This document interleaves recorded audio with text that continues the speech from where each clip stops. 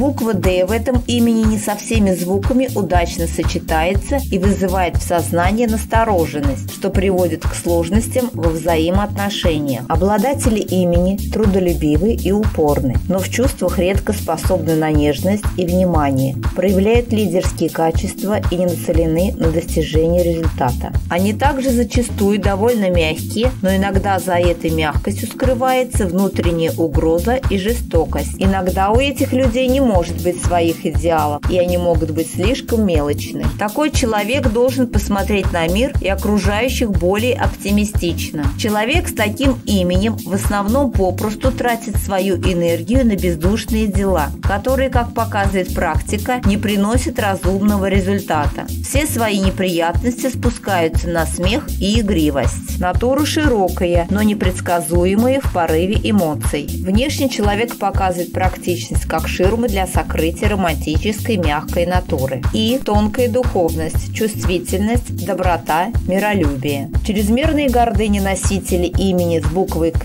мешает им осуществлять намеченные планы. Люди с этим именем прежде всего стремятся окружить себя любовью своих близких и дружбой веселых, жизнерадостных людей. Романтики по натуре, они длительное время не могут найти подходящего партнера, который обладал бы таким же бесхитростным характером.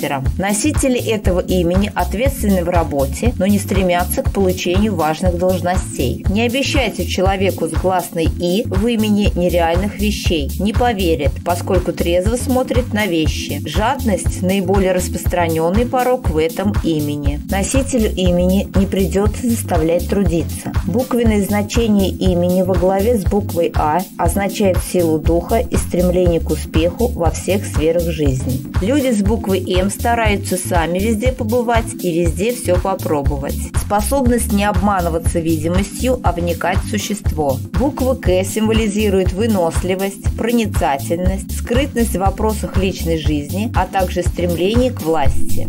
Если на предприятии раздали под участки землю, первым обнесет колышками свой газон тот, в чьем имени есть звук «Д». Правда, сначала обнесет, а лишь потом задумается, в состоянии ли он эту землю обработать. Если этот человек чем-то увлечется, то может даже пойти на глупый риск. Дорогой друг, поставь лайк под видео и подпишись на канал. Мы зависим от твоей помощи.